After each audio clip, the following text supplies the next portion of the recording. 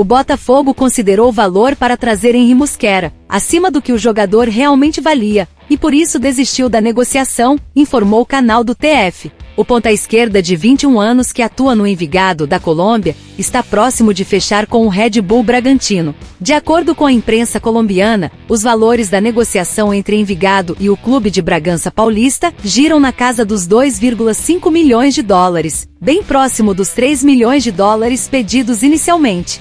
Henri Musquera tem três gols marcados e uma assistência em 10 jogos nesta temporada pelo Envigado. Compartilhe sua opinião nos comentários. E se você gostou do nosso conteúdo, não se esqueça de deixar seu like, se inscrever no canal e ativar o sininho para não perder nenhuma novidade sobre o Glorioso.